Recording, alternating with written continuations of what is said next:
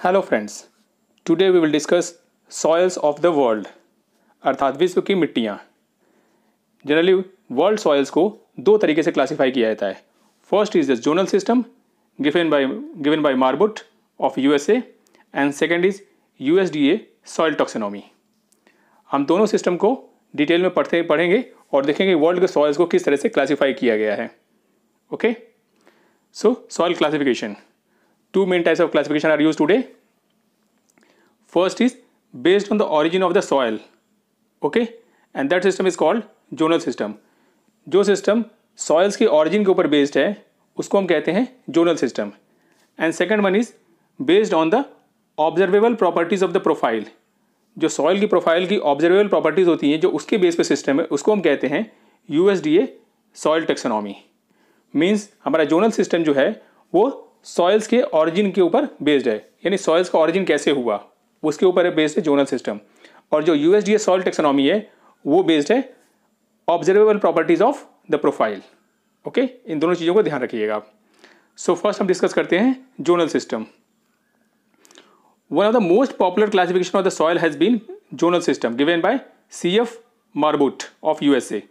C F Marbut के द्वारा दिया गया था सिस्टम इसको ध्यान रखिएगा। कभी एग्ज़ाम में आपसे पूछ सकता है।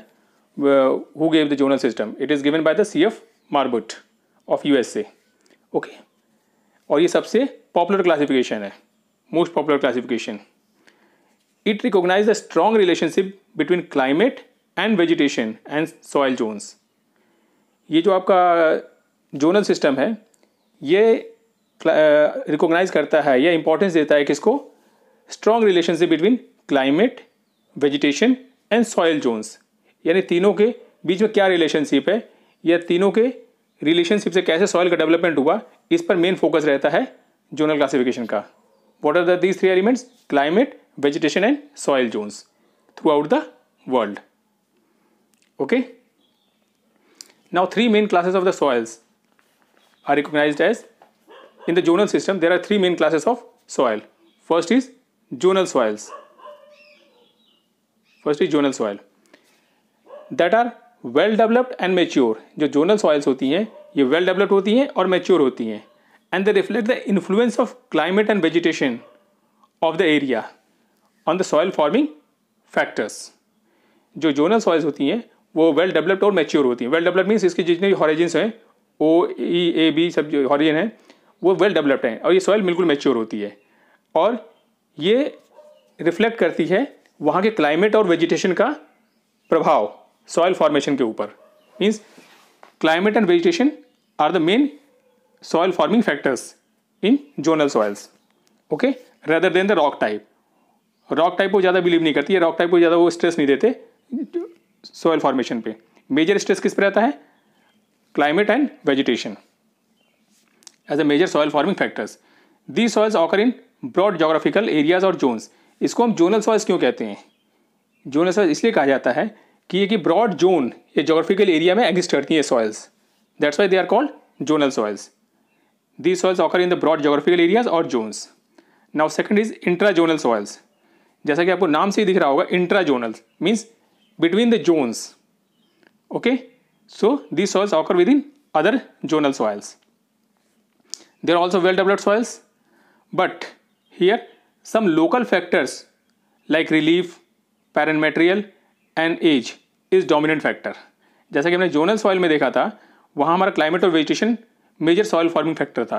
पर इंट्राजोनल सॉइल में लोकल फैक्टर्स डोमिनेट करते हैं like relief parent material and age age means time period of soil formation okay so this is intrazonal soils it is occur within other zonal soils now azonal soils azonal soils they are developed by the process of deposition by the agents of erosion ये जो अजोनल soils है, इसका जो formation या development हुआ है, ये by the process of deposition by the agents of erosion means eroding agent जैसे होते हैं विंड हो गया, आपका ग्लेशियर्स हो गए, ठीक है? इस तरह के जो भी इरोडिंग एजेंट्स होते हैं, उनके द्वारा इन सॉइल्स का फॉर्मेशन हुआ है। इरोजन के द्वारा जो मटेरियल आकर डिपॉजिट किया गया, उस डिपोजिशन से अजोनल सॉयल्स का फॉर्मेशन हुआ। They are immature and poorly developed अब जब ये इरोजन के द्वारा डिपोजिशन के द्वारा इरोजन एंड डिपोजिशन के द्वारा इस सॉइल का फॉर्मेशन हो रहा है तो इमेच्योर और पुअरली डेवलप रहेंगी, क्योंकि ये कंटिन्यूस प्रोसेस चलता जा रहा है, चलता जा रहा है। That's why they are immature और poorly developed okay due to non availability of sufficient time for them to develop fully और due to the location on the steep slopes which prohibits profile development ये immature और poorly develop क्यों है? क्योंकि इनको sufficient time नहीं मिला पूरा डेवलप होने के लिए, क्योंकि कंटिन्यूस प्रोसेस चल रहा है। और सेकंड रीज़न हो सकता है इनका लोकेशन किसी स्टीप स्लोप पे, किसी खड़े ढाल वाले जगह पर अगर ये मिट्टियाँ स्थित हैं तो इनका डेवलपमेंट नहीं हो पाया, क्योंकि वहाँ पर कोई भी फिर से इरोडिंग एजेंट आएगा और उसको वहाँ से मिट्टी को हटा देगा तो ये फुली डेवलप नहीं हो पाएँगी। इनका प्रोफ़ाइल डेवलप नहीं हो पाएगा। Okay now soil classification in the zonal system can you broadly classified as zonal intrazonal and azonals in intrazonals there are two further classification दो other और भी classifications है। First is pedalfer okay? And second is peduncle in the pedalfer soils sesquioxides increases related to the silica during soil formation इसमें क्या होता है sesquioxides of aluminium and iron A L F A R okay A L for aluminium F A R for ferrous इनका जो है ये comparison to silica, their relative component uh, composition is more. So uh, sesquic oxides increases relative to the silica during soil formation in pedalfer soils. They include tundra soil इसमें tundra soil आती है podzol आती है prairie आती है laterite soil grey brown podzol and red yellow podzol now in pedocles calcium is more here calcium is dominating that soils are Chernozem, chestnut, grey, desert or xerism soils. In these soils, calcium carbonate is a major soil forming element. Now second is intrazonal. In intrazonal, there are three types of soils, hydromorphic, halomorphic and calcimorphic. Okay. And third is the azonal. Azonal में आपका lithosol, regosol and alluvial. Alluvial soils generally are found in the river basins. okay so now pedalfer soils In pedalfer soil see this AlFAR Al for aluminium FAR for ferrous. So, these contain greater proportion of aluminium and iron. इसमें aluminium और iron की अधिकता होती है pedalfer soils में. Okay okay? ये soil पाई कहाँ जाती हैं? These soils have grown in humid areas under very rich vegetation cover जहाँ ह्यूमिड एरिया होता है और रिच वेजिटेशन कवर होता है, वहाँ पर पेडल्फर सॉइल्स पाई जाती हैं।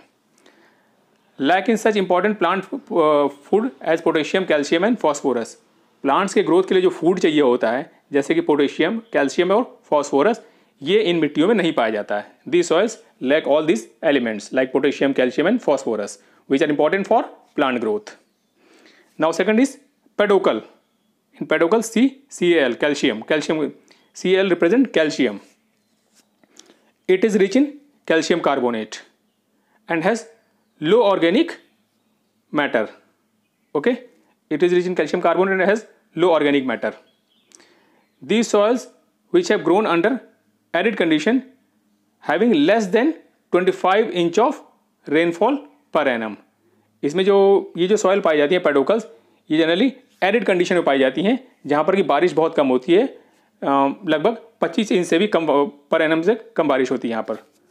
So rainfall is less than 25 five per annum अब हम देखते हैं जोनल टाइप्स ठीक है, जोनल टाइप्स में सबसे पहली सॉइल है टुंड्रा सॉयल ठीक, tundra soil as a name represent it is found in tundra region okay found in tundra.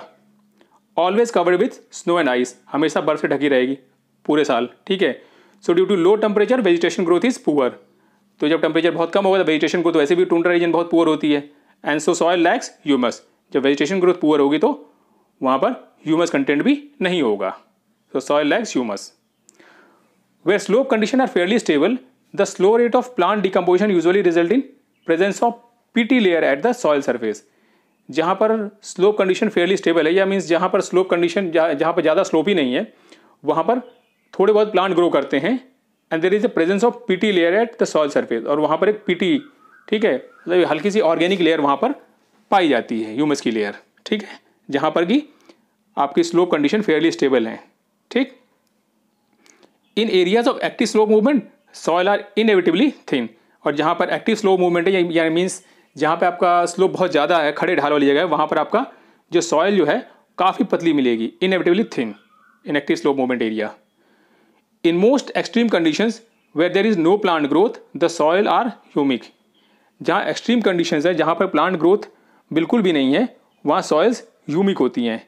Example brown polar desert soil of Antarctic जैसे कि अंटार्कटिक की ब्राउन पोलर सॉयल यहाँ plant growth बिल्कुल नहीं है और soil वहाँ की ह्यूमिक होती है। By way of contrast birch forested tundra margin in the northern hemisphere possesses arctic brown forest soil characterize by thick dark organic A horizon जैसे हमने देखा कि जहाँ पर ये एक्सट्रीम कंडीशन है, बिल्कुल जहाँ टेम्परेचर बहुत कम है, वहाँ वेजिटेशन का ग्रोथ नहीं होता है, जैसे कि आपके अंटार्कटिक में दिखता है। लेकिन इसके कुछ एक्सेप्शन भी हैं, कुछ कॉन्ट्रास्ट भी हैं। जैसे कि आर्टिक एरिया जो है, वहाँ पर ब्राउन फॉरेस्ट सॉइल पाई जाती है और वहाँ पर एक thick dark organic A horizon पाया जाता है सॉइल के टॉप सरफेस पे। क्योंकि यहाँ पर कुछ शंकुधारी बन पाए जाते हैं birch forest tundra margin okay in the northern hemisphere possess arctic brown forest soil characterize by thick dark organic A horizon. Okay? देखते हैं कहाँ पाई जाती है टूंड्रा सॉइल। मैप में देख सकते हैं। से दिस इज़ टुंड्रा सॉइल। ये आपका एरिया है, ऊपर का एरिया देखिए। ये टुंड्रा रीजन है, ऊपर का। ठीक है? लाइट आपका स्किनी कलर दिख रहा होगा बिल्कुल। ये this is this is tundra area okay? ये tundra soils are found in this areas ना पॉडजोल और taiga soil this is very important soil podzol of three types are most widespread in the cool climate immediately south of the tundra region तीन तरह की podzol पाई जाती हैं और ये कहाँ पाई जाती है? Widespread in the cool climate immediately south of tundra region tundra region के जस्ट साउथ में जो कूल क्लाइमेट है, वहाँ पर सॉइल पाई जाती हैं and are found typically in association with coniferous forest और कॉनीफेरस फॉरेस्ट या शंकुधारी वन के एसोसिएशन में पॉडजोल सॉइल पाई जाती हैं। तो पॉडजोल सॉइल और ये शंकुधारी वन जो होते हैं कॉनीफेरस फॉरेस्ट इनका एक स्ट्रॉन्ग रिलेशनशिप है, और वहीं पर पाए जाते हैं।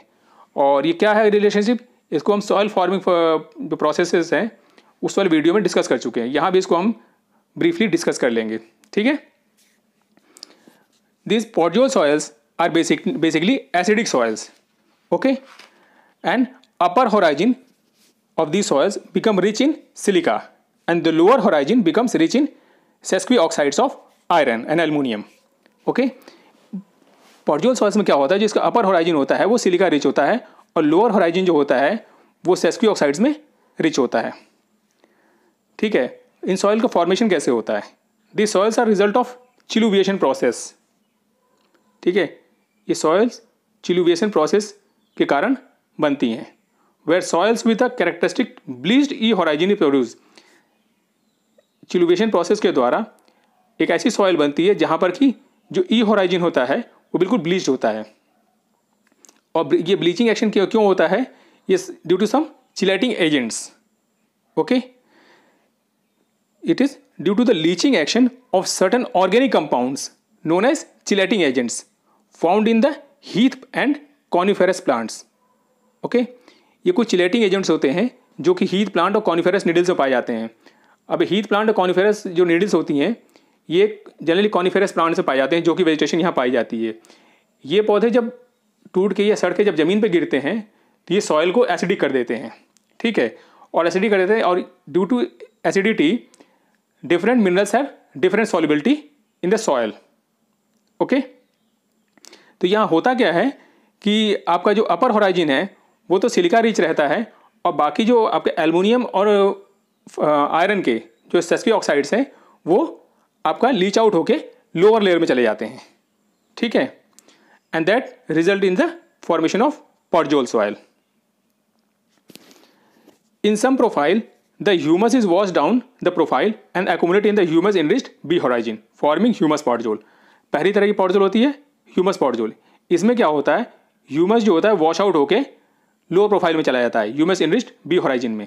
और उसको हम कहते हैं ह्यूमस पॉडजोल सेकेंड होती है iron podzol in iron podzol there is a mark concentration of iron oxide at this level means जो बी आपका जो बी होराइजिन है, वहाँ पर आयरन की अधिकता हो जाती है mark concentration of iron oxide in this layer okay forming the iron podzol now third is gley podzol gley podzol कहाँ होती है? ये जनरली आपके वाटर लॉक्ड एरिया में होती है. Form of an iron pan in soil से generally होता क्या है? कि आपका आयरन जो होता है वो टॉप लेयर से वॉश होकर नीचे चला जाता है लीच आउट होकर नीचे चला जाता है। और वहाँ पे आयरन ऑक्साइड की एक लेयर फॉर्मेशन कर देता है। In the form of a iron pan पूरे एक आयरन का पैन बना देता है वहाँ पे। और वो जब आयरन का पैन बन जाता है it impedes the drainage means वो पानी को और नीचे नहीं जाने देता। और पानी को जब नीचे नहीं जाता, पानी इकट्ठा हो जाता है वहाँ पे वाटर लॉगिंग कंडीशन हो जाती है। वाटर लॉगिंग कंडीशन हो जाती है वहाँ पर एनारोबिक कंडीशन डेवलप हो जाती है मीन्स ऑक्सीजन डेफिशिएंट हो जाता है वहाँ पे। And it result in the reduction of ferric iron to soluble ferrous ये फेरिक आयरन के सॉल्युबल फेरस में कन्वर्ट हो जाता है। And that result in the greyish bluish colour of the soil it is called gley podzol उसी को हम gley podzol कहते हैं, ठीक है? Gleying takes place under the water logged and anaerobic conditions anaerobic means oxygen deficient condition which reduces ferric iron to soluble ferrous उसकी वजह से जो फेरिक आयरन होता है, वो सॉल्युबल फेरस में कन्वर्ट हो जाता है, ठीक है? The soils are poor for agriculture but best use is for grazing and coniferous forest in soils का यूज़ क्या है? ये एग्रीकल्चर के तो पुअर होती हैं, लेकिन ये ग्रेजिंग और कॉनिफेरस फॉरेस्ट के पर्पज से काफ़ी यूज़फुल होती हैं। इस फिगर हम देख सकते हैं। ये देखिए this is organic rich humus layer this is eluviated silica rich horizon देखिए, ये सिलिका रिच हॉराइजिन है। ठीक है? बाकी eluviated horizon oxides of aluminium iron वो कहाँ चली गई? नीचे बी हॉराइजिन में चली गई। और जो प्लांट्स के लिए हेल्पफुल मिनरल्स थे, जैसे कैल्शियम सोडियम मैग्नीशियम के पोटेशियम ये सब वॉश आउट होकर बिल्कुल नीचे चले गए कैटाइंस इसलिए ये सॉलेबल बिल्कुल सॉरी ये सॉइल जो है आपकी बिल्कुल एग्रीकल्चर के लिए पुअर हो गई। Okay so this is the process of podzolization और चिलुविएशन अब देखते हैं ये सॉइल पाई कहाँ जाती है? पॉडजोल सॉइल ये देखिए this is the podzol soil green colour में। So this is the podzol soil south of the tundra region here again this is podzol soil south of the tundra region okay now brown earth the soils are found equatorward of the main podzol ये soil कहाँ पाई जाती हैं? Main podzol के equator side में equatorward side में मतलब और साउथ में. मेन जो पॉडजोल जहाँ पाई जाती है, उसके और साउथ में.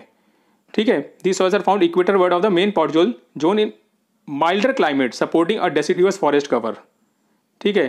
ऐसा क्लाइमेट जो कि डेसिडिवस या पतझड़ वन को सपोर्ट करता है, वैसे क्लाइमेट में पाई जाती है ब्राउन अर्थ ओके ना brown earth are wide spread in Britain except in highlands ये ब्राउन अर्थ जो है ब्रिटेन में काफ़ी पाई जाती है एक्सेप्ट हाईलैंड हाईलैंड मतलब ऊँचे एरियाज़ को छोड़कर। The soil still exhibits leaching इस सॉयल में अभी भी लीचिंग बरकरार है। लीचिंग कहाँ थी इससे पहले? पॉटजोल में थी। वो यहाँ भी बरकरार है but as far as less intense nature than podzol लेकिन पॉटजोल से कम है यहाँ पर। क्योंकि यहाँ चिलेटिंग एजेंट्स कंपेटिवली कम है, या नहीं है, ठीक है? इसलिए यहाँ पर लीचिंग एक्शन कम होता है। Although free calcium is absent from the upper part इसके अपर पार्ट से फ्री कैल्शियम तो एबसेंट होता है, ठीक है? But there is no downward movement of sesquioxides and their disperse distribution give rise to overall brown colour the soil इसमें calcium तो absent होता है, ठीक है? फ्री कैल्शियम एबसेंट होता है अपर लेयर में, लेकिन इसमें डाउनवर्ड मूवमेंट भी नहीं होता सेक्सफी ऑक्साइड्स का। सेक्सफी ऑक्साइड में मीन्स आयरन और एल्यूमिनियम के जो ऑक्साइड्स हैं, उनका डाउनवर्ड मूवमेंट नहीं होता, और आयरन की जो ऑक्साइड हो वो ऑक्साइड्स होती हैं, वो ऊपरी लेयर में डिस्पर्ज होती हैं, ठीक है? जिसकी वजह से यहाँ सॉइल का कलर ब्राउन होता है। That is overall brown colour of the soil okay humus is well distributed throughout the profile and less acidic than in podzol पूरे प्रोफ़ाइल में ह्यूमस वेल डिस्ट्रीब्यूटेड होता है और लेस एसिडिक होता है पॉटजोल कंपेरिजन में। और यहाँ पर वेजिटेशन क्या पाई जाती है? ये भी इंपॉर्टेंट हमारे लिए।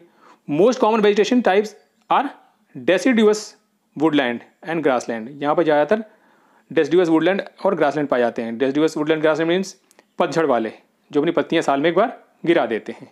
These are called brown earth देख लेते हैं ब्राउन अर्थ कहाँ पाई जाती है। ये देखिए हमारी ब्राउन अर्थ ये है, ठीक है? ये हमारा ब्राउन अर्थ वाला एरिया ये देखिए। इंग्लैंड वैसे ये यूरोप के कुछ कंट्रीज़ में ये ब्राउन अर्थ का एरिया है। यहीं पे ब्राउन अर्थ पाई जाती है।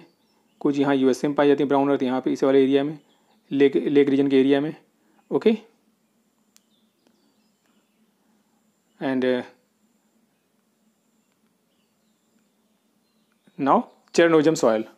Chernozem is a pedocal soil. Pedocal means calcium rich. Okay. This is very productive soil. Chernozem soil बहुत ही productive soil है which is widespread in the west of North America Russia and northern China और ये पाई कहाँ जाती है North America के मिड वेस्ट में रशिया में नॉर्दर्न चाइना में ठीक है यहाँ पर आपकी चेरनोजम सॉइल पाई जाती है। The best example of chernozem and their variant are found in the association with steppian prairie vegetation chernozem का बेस्ट एग्ज़ाम्पल जो है, ये जो पाया जाता है आपको, जो स्टेपियो प्रेरी जो घास के मैदान है, उनके एसोसिएशन में या उनके आसपास के एरियाज़ में चेरनोजम पाई जाती है। So the best example of chernozem and their variant are found in association with steppe prairie vegetation the light rainfall in this area leads to incomplete leaching यहाँ बारिश कम होती है कंपेटिवली तो इनकम्प्लीट लीचिंग होती है यहाँ पर, ठीक? And the formation of calcium rich horizon deep in the profile और प्रोफ़ाइल सॉइल प्रोफ़ाइल के अंदर कैल्शियम रिच हॉराइजन पाई जाती है। कैल्शियम रिच हॉराइजन पाई जाती है। That is why it is called pedocal soil okay अब अब this calcium rich soil there is a deep dark layer of soil जो कैल्शियम रिच हॉराइजन था, उसके ऊपर एक डीप डार्क लेयर सॉयल की पाई जाती है। और this soil is black in colour ठीक? विथ वेल डेवलप्ड होराइजेंस इसके होराइजेंस जो होते हैं, जो भी इसकी जो होराइजेंस हैं, वो पूरे वेल डेवलप्ड होते हैं containing high percentage of humus and minerals इसमें ह्यूमस और मिनरल का भी हाई परसेंटेज होता है। With high moisture storage capacity इसकी मॉइस्चर स्टोरेज कैपेसिटी बहुत ज़्यादा होती है and well developed crumb structure crumb structure भी होता है इसका वेल डेवलप्ड सो हमने देखा कि इसमें जितने भी इस सॉइल के जो कैरेक्टरिस्टिक्स हैं, वो काफ़ी बेनिफिशियल हैं एग्रीकल्चर पर्पज़ के लिए, ठीक है? जैसे कि this is well developed horizon containing high percentage of humus and minerals humus और मिनरल्स बहुत ज़्यादा है। हाई मॉइस्चर होल्डिंग कैपेसिटी है इसकी and well developed crumb structure so this the ideal parent material for this soil seems to be loess इसके formation के लिए चोनेजो soil के फॉर्मेशन के लिए जो आयरन आइडियल पैरेंट मटेरियल है, वो है लोएस और लोएस का फॉर्मेशन कैसे होता है? डिपोजिशन के द्वारा. Very fertile and produce high agriculture yield especially cereals and oil seeds तो जैसे हमने ऊपर देखा कि इसमें एग्रीकल्चर के बेनिफिट के लिए सभी मिनरल्स ये सभी कैरेक्टरिस्टिक्स पाए जाते हैं। So this soil is very fertile and produce high agriculture yield especially cereals and oil seed यहाँ पर मतलब जो आपके दलहनी फ़सलें और ऑयल सीड्स हैं, वो काफ़ी अच्छी पैदावार होती है उनकी इस सॉइल्स में चरनेजो सॉइल में। Then comes the chestnut soil this is also pedocal soil chestnut soil is dark brown colour occur on the arid side of the chernozem ये कहाँ ऑकर होती है? ये कहाँ पाई जाती है? Occur on the arid side of the chernozem chernozem के एरिड साइड में या चेरनोजम के और साउथ में जहाँ पर की बारिश कम होती है, वहाँ पर चेस्टनट सॉइल पाई जाती है। Under natural vegetation of low grass steppe और यहाँ पर जो नेचुरल वेजिटेशन होती है, वो लो ग्रास स्टेपी होती है। वहीं पर ये चेस्टनट सॉइल पाई जाती है। Like in Asia central Chile North America okay the illuvial carbonate layer is closer to the surface than in chernozem and they have a lower organic content जो illuvial carbonate layer थी, जो कि हमने chernozem layer में देखा, chernozem soil में देखा कि काफ़ी डीप होराइजन में थी, वो कंपेरेटिवली यहाँ पर सरफेस के नज़दीक आ चुकी है। Closer to the surface, than in chernozem, and they have a lower organic content, और इनका ऑर्गेनिक कंटेंट भी कम होता है। तो हम देख रहे हैं कि धीरे धीरे जैसे हम इक्वेटर बढ़ा रहे हैं, वैसे वैसे कार्बोनेट की लेयर और ऊपर होती जा रही है, ठीक है? Productive for mixed forest and grassland and citrus foods और ये चेस्टनट सॉइल किसके लिए यूजफुल है? मिक्सड फॉरेस्ट ग्रासलैंड के लिए और खट्टे फलों के लिए सिट्रस फ्रूट्स के लिए। जैसे आपका मौसमी हो गया, संतरा हो गया, नींबू हो गया, अंगूर हो गया, उनके लिए सॉइल काफ़ी अच्छी है। Chestnut soil and third is this after chestnut comes the prairie soil prairie soil occupy the transition zone of increasing wetness between chernozem and forest brown earth prairie soil ये ट्रांजिशन जोन में पाई जाती है। किसका transition zone between increasing wetness between chernozem and forest brown earth जैसे जैसे वेटनेस बढ़ती है या बारिश बढ़ती है चेरनोजम और फॉरेस्ट ब्राउन अर्थ के बीच में वैसे उस एरिया में प्रेरी सॉयल पाई जाती है। Found in the prairie grassland of North America अभी कहाँ कहाँ पाई जाती है वो देख लेते हैं। Prairie grassland of North America pampas of Argentina veld of South Africa steppe of Central Asia and downs of Australia in areas में प्रेरी सॉइल पाई जाती है। The temperate grassland have soils that are mineral and humus rich and deep ये जो temperate grasslands हैं, यहाँ की soil जो है, वो मिनरल और ह्यूमस रिच रहती है। मिनरल्स काफ़ी पाए जाते हैं ह्यूमस भी पाया जाता है और ये डीप होते हैं काफ़ी। मतलब काफ़ी गहराई तक पाए जाते हैं सब। फर्टाइल फॉर वीट प्रोडक्शन गेहूँ के पैदावार के लिए जो प्रेरी सॉयल है, वो काफ़ी फर्टाइल होती है। And because of this prairie soils are the bread basket of the world और इसी कारण प्रेरी सॉयल को हम दुनिया का रोटी का कटोरा कहते हैं bread basket of the world तो ये फैक्ट बहुत important examination point of view से कि which soil is known as the bread basket of the world it is prairie soil most of the prairie soils are also called mollisols prairie soils को mollisols भी कहा जाता है। Mollisols आपका USDA classification में use किया जाता है, इसको वहाँ पर पढ़ेंगे, ठीक है? तो जो ज़्यादातर प्रेरी सॉयल है, उनको मोली सोल्स भी कहा जाता है।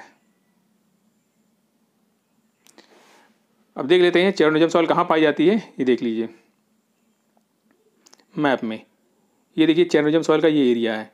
और इसी के ड्रायर एरियाज़ में चेस्टनट पाई जाती है, ठीक है? और यहीं पर प्रेरी एस्टेपी सॉइल भी पाई जाती है। ये यहाँ पे। देन यहाँ पे देखिए सेंट्रल एशिया वाले जो एरिया है, यहाँ पाई जाती है। Okay? Now comes the sierozem.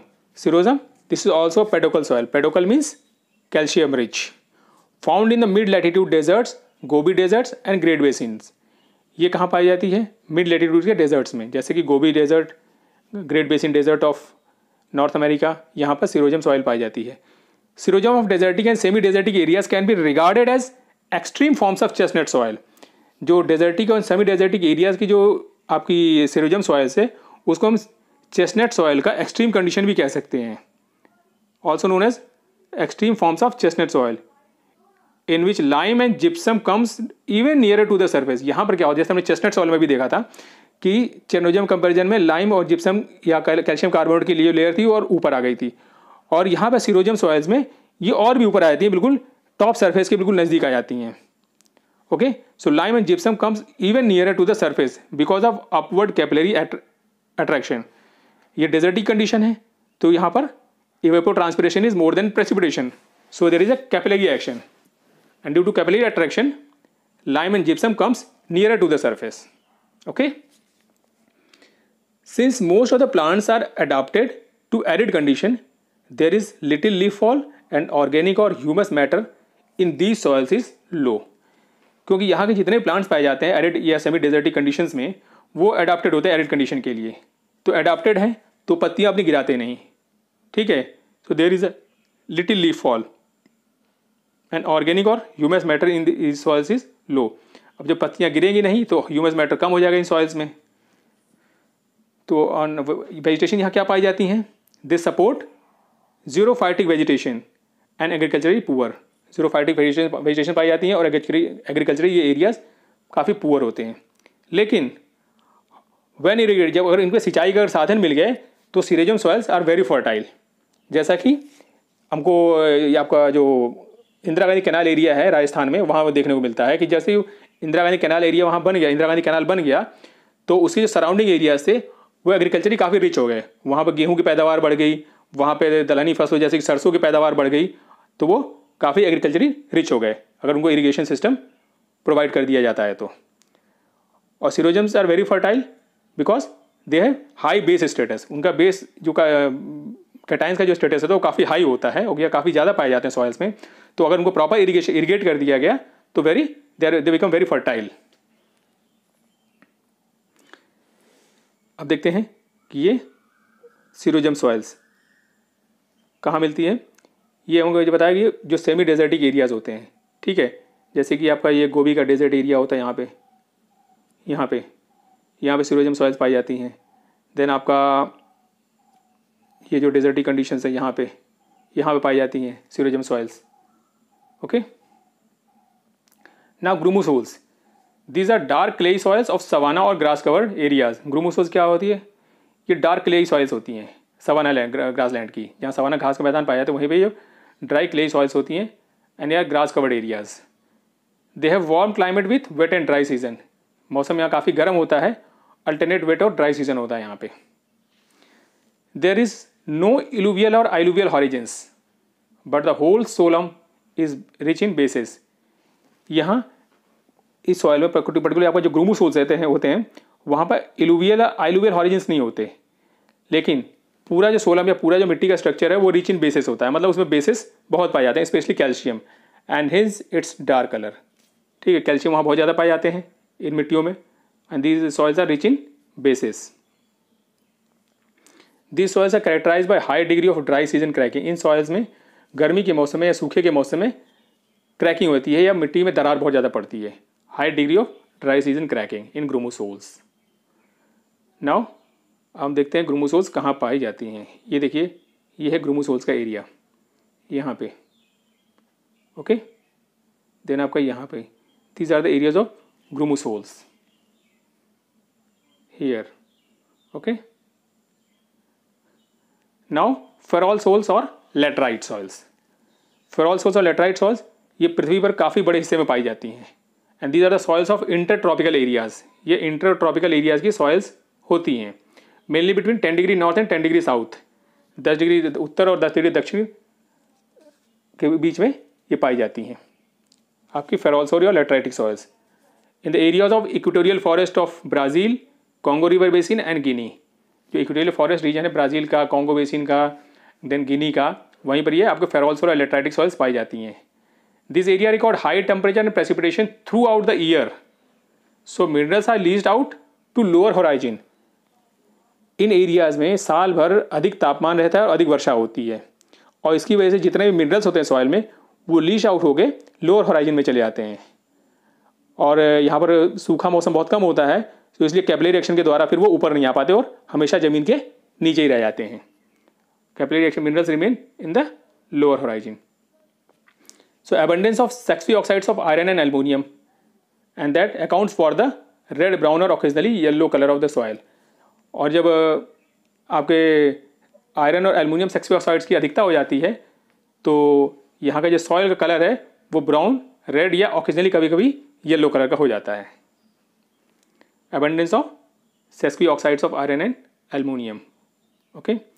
The a horizon make up the first meter और जो इसका ए होराइजन होता है, वो पहले एक मीटर तक होता है, और वो जनरली एसिडिक होता है with low humus content humus content भी कम होता है and the B horizon is predominantly clayey देखिए, इसका ए होराइजन जो एसिडिक होता है, और ह्यूमस कंटेंट भी कम होता है। अब ह्यूमस कंटेंट यहाँ कम क्यों है? क्योंकि आपका यहाँ टेम्परेचर और प्रेसिपिटेशन ज़्यादा होता है तो यहाँ पर बैक्टीरियल का एक्शन भी बहुत ज़्यादा होता है। तो जो भी पत्तियाँ गिरती हैं, उसको फटाफट बैक्टीरिया डिकम्पोज कर देती हैं। तो ह्यूमस कंटेंट बहुत कम हो जाता है ओके और इसकी फर्टिलिटी देखते हैं। They are low in fertility because of lack of humus and bases bases तो लीच आउट होकर नीचे चले गए, और ह्यूमस कंटेंट था वो कम हो गया क्योंकि bacteria due to bacterial actions so low in fertility because of low humus and bases लेकिन आदमी छोड़ने वाला कहाँ पे है? आदमी ने यहाँ पर भी अपनी खेती शुरू कर दी। और यहाँ पर किसकी खेती होती है? Plantation crops like oil palm rubber ठीक है? ऑयल पाम रबर ये आपका गिनी वाले एरिया में, आपका कॉन्गो बेसिन में काफ़ी प्रैक्टिस किया जाता है।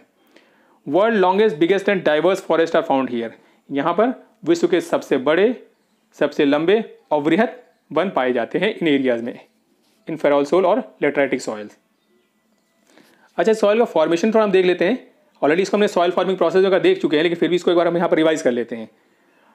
Under the hot humid tropical and equatorial climate silica is more mobile than iron and aluminium जो हॉट ह्यूमिड ट्रॉपिकल और इक्वेटोरियल क्लाइमेट होता है वहाँ पर सिलिका ज़्यादा मोबाइल होता है in comparison to iron and aluminium oxides ठीक है? जैसा कि मैंने पॉडजोल में देखा था पॉडजोल फॉर्मेशन फॉर्मेशन में, वहाँ पर आयरन और एल्यूमिनियम ऑक्साइड ज़्यादा मोबाइल होते हैं। लेकिन हॉट ह्यूमिड ट्रॉपिकल और इक्वेटोरियल क्लाइमेट में silica is more mobile silica is more mobile then iron and aluminum oxide and progressively removed from the soil along with the many other bases. और ये silica जो होता है बाकी other basis जैसे कि आपका कैल्शियम मैग्नीशियम सोडियम इनके साथ, ये भी वहाँ से वॉश आउट हो गया लीच आउट होकर चला जाता है। ठीक? डिसिलिकेशन और laterization contrast with the podzolization when the iron and aluminium compounds are more mobile हमने देखा, अभी डिस्कस किया कि पॉडुलेशन में उल्टा होता है। वहाँ आयरन एलुमिनियम ज़्यादा मोबाइल होते हैं इन कंपेरिजन सिलिका और हमारा लेट्राइजेशन में ये फेरॉल सोल में क्या होता है कि silica is more mobile than aluminium and iron high temperature leaves little और no humus on the surface high temperature के कारण यहाँ पर ह्यूमस कंटेंट बहुत कम होता है. And this desilicified soils are known as ferralsol.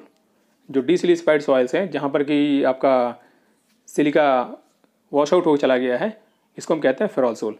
एक बार प्रोसेस को यहाँ फिगर में देख लेते हैं. देखिए यहाँ पर हुआ हैवी प्रेसिपिटेशन ठीक? और इसकी वजह से क्या हुआ? ऑक्साइड्स ऑफ़ आयरन यहाँ पर सिलिकॉन एंड एलमोनियम यहाँ रहती हैं, ठीक? लेकिन जब प्रेसिपिटेशन बहुत ज़्यादा हुआ तो डिसिलिकेशन स्टार्ट हुआ, ठीक? बाकी जो कैल्शियम सोडियम मैग्नीशियम ये सब आपके वॉश आउट हो गए, नीचे होराइजन में आ गए। और जो सिलिका था, वो और नीचे चला गया वॉश आउट हो गए ऑक्साइड्स ऑफ़ सिलिका ठीक? यहाँ निकल गया है, नीचे। तो upper layer is rich in aluminium and silicon अब हम फेराल सोल को, या लेटराइटिक सॉइल को मैप में देख लेते हैं कि वर्ल्ड में लेटराइटिक सॉइल कहाँ पाई जाती हैं। ओके देख see this is ferralsol ठीक? ये देखिए। ये आपका अमेजन का basin here Congo basin here Guinea area all these are ferralsol और lateritic soils now we'll discuss intrajonal type soils intrajonal soils means which are forms between zonal soils first is hydromorphic soils okay these soils which have underground glaying and are associated with marshes swamps or poorly drained uplands so they form in wetland conditions hydromorphic soils कहाँ develop होती हैं जहाँ पर water logged area होती है जैसे कि marshes swamps या पुअरली ड्रेंड एरियाज़ या अपलैंड्स ठीक है जहाँ पर पानी इकट्ठा रहता है ऐसे एरिया एरियाज़ में आपकी हाइड्रोमॉर्फिक सॉइल डेवलप होती है। Two main types of hydromorphic soil can be recognise according to the position of water table hydromorphic soil दो तरह की होती हैं। वो डिपेंड करती हैं कि वो आपका किस पे?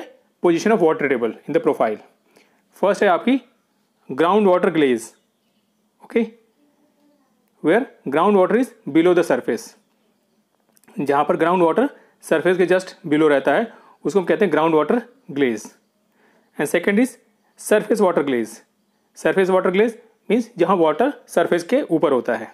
वहाँ होती है surface water gley gleying is essentially the process of water logging and reduction in soils gleying क्या होता है? हम पहले भी डिस्कस कर चुके हैं। ये आपका वाटर लॉगिंग कंडीशन होती है। जहाँ पर वाटर लॉगिंग हो जाती है, वहाँ पर सॉइल्स का रिडक्शन हो जाता है और वहाँ पर फेरिक आयरन जो होता है वो फेरस में कन्वर्ट हो जाता है। In water logged soils where water replaces air pores और जब पानी वहाँ भरा रहेगा वाटर एरिया रहेगा तो जो आपकी पोर्स वगैरह होती हैं, वो एयर स्पेस के लिए, वो पूरी पानी से भर जाएँगी। So water logged soils where water replaces air in pores okay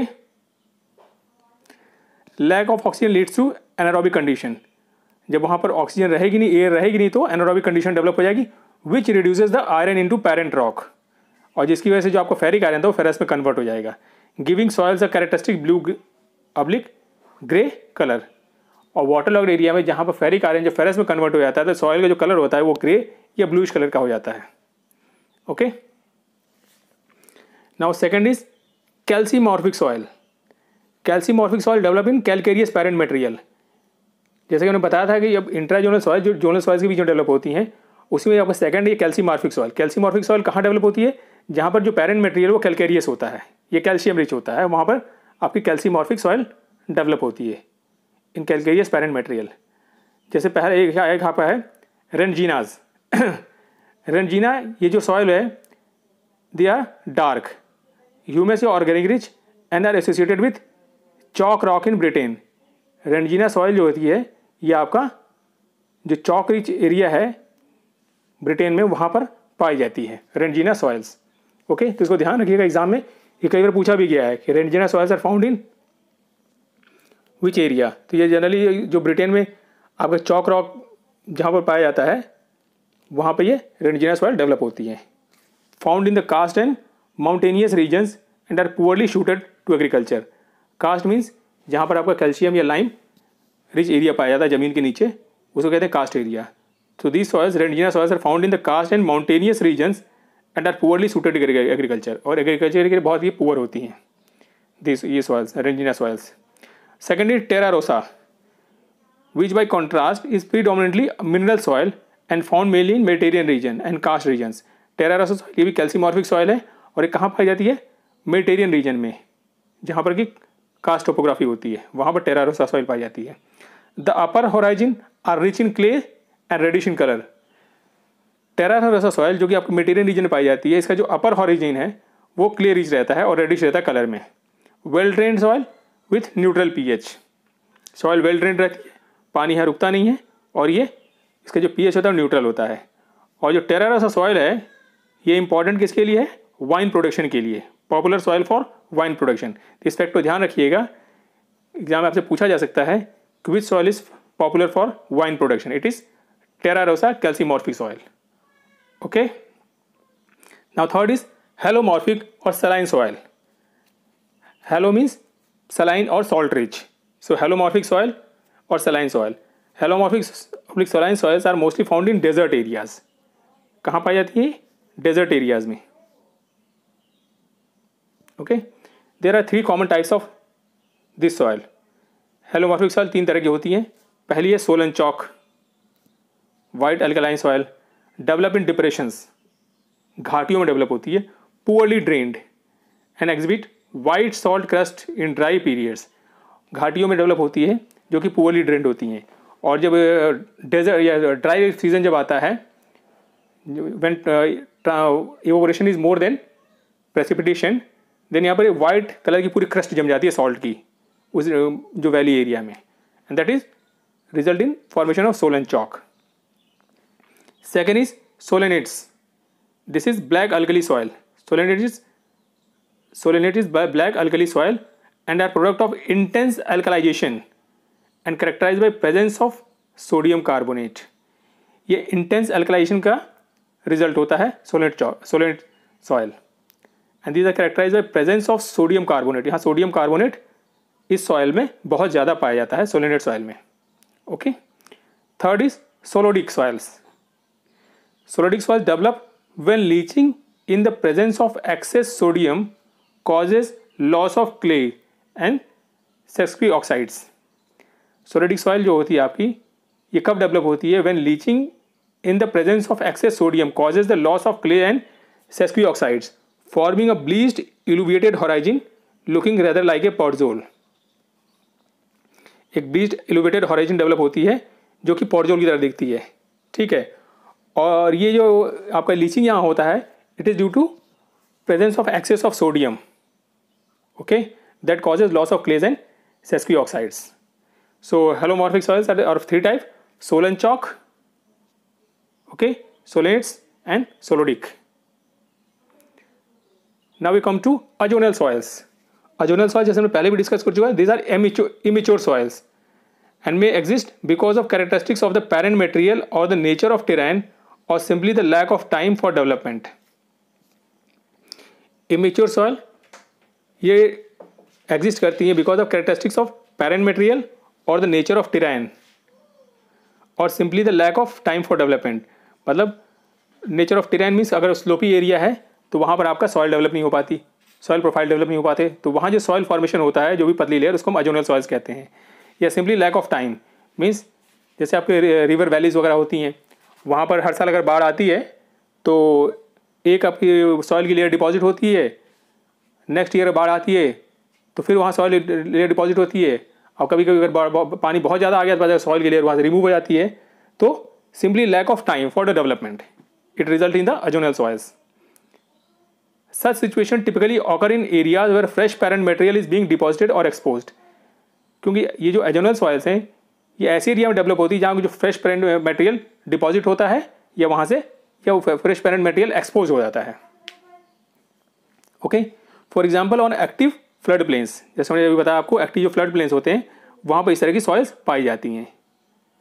alluvial soils have little और नो प्रोफ़ाइल डेवलपमेंट इनका प्रोफ़ाइल डेवलपमेंट बहुत कम होता है, या तो बिल्कुल होता ही नहीं है because of their frequent burial under the new sediments क्योंकि वहाँ पर जो टॉप लेयर है, उसका फ्रिक्वेंट बरियल है, वो उसके ऊपर एक नई नई लेयर चढ़ती जाती है और डिपॉजिट होती जाती है।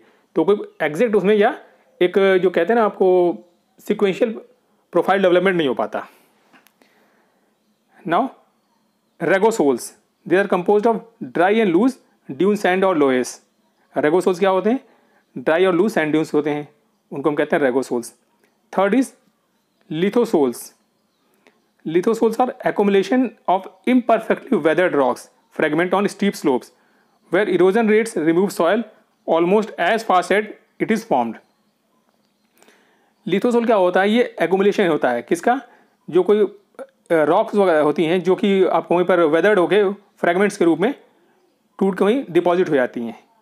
ठीक, उसी का एकोमुलेशन होता है। Lithosols are accumulation of imperfectly weathered rocks fragmented और steep slopes where erosion rates remove soil almost as fast as it is formed किसी स्टीप स्लोप एरिया में अगर आपके सॉइल्स का जो लेयर है, वो डेवलप नहीं हो पाता और जैसे ही उसको कोई सॉइल डेवलप होती है, उसके स्लोप की वजह से वो नीचे रिमूव हो जाती है। तो जो फ्रेगमेंटेड लेयर्स है, वो वहीं पर पड़ी रह जाती हैं। ठीक है? उसको हम कहते हैं लिथोसोल्स लिथो मीन्स होता है पत्थर। ठीक? तो उन्हीं के फ्रेगमेंट्स का जो जो लेयर होती है, उसको हम कहते हैं this completes the zonal classification of soils now U S D A soil को हम नेक्स्ट वीडियो में डिस्कस करेंगे क्योंकि ये वीडियो थोड़ा लंबा हो गया है। तो अगर आपको वीडियो पसंद आया हो तो प्लीज़ लाइक करें और इसको शेयर करें। और आने वाले वीडियो आपसे मिस ना हो, इसे चैनल को सब्सक्राइब कर लें। थैंक यू जय हिंद